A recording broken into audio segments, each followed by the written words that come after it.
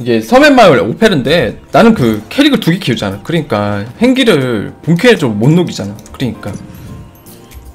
어차피 기회나 내가 이거 쓸 것도 아니고.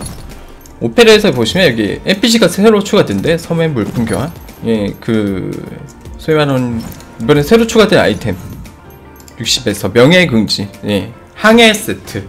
연마 재료를 일주일 동안 수요일마다 초기화 되죠. 이거 판매하기 때문에 수요일 되기 전에 미리 사셔야 하고 일주일에 한 번씩만 살 수 있거든 그 다음에 그 섬 세트를 구비 안 하실 분들은 이렇게 기회나 증표 같은 걸로 섬의 파편 기내 중표 다섯 개씩 들어있죠.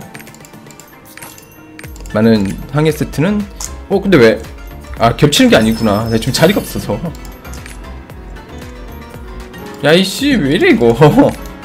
이거는 패시브라 가지고 사도 상관없는데.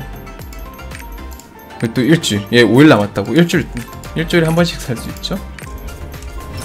자리가 없어서 그래. 하도 많이 쳐받아가지고. 기나 증표 나는 항해 세트를 음, 연말에 할 생각이 없으니까 그 다음에 여기 기에나의 눈물로 살 수 있는 것 중에 제일 끝에 가면 오페르 예, 오페르의 프로켄 증표 상자 요거는 근데 기에나의 눈물이라 가지고 요것도 다섯 개 일주일에 일주일마다 이제 그 한 번씩 다섯 개 다섯 개난 근데 섬의 마음 여섯 개 육십 개를 못 모아가지고 한 개는 못써 이것도 맹 다섯 개긴 한데.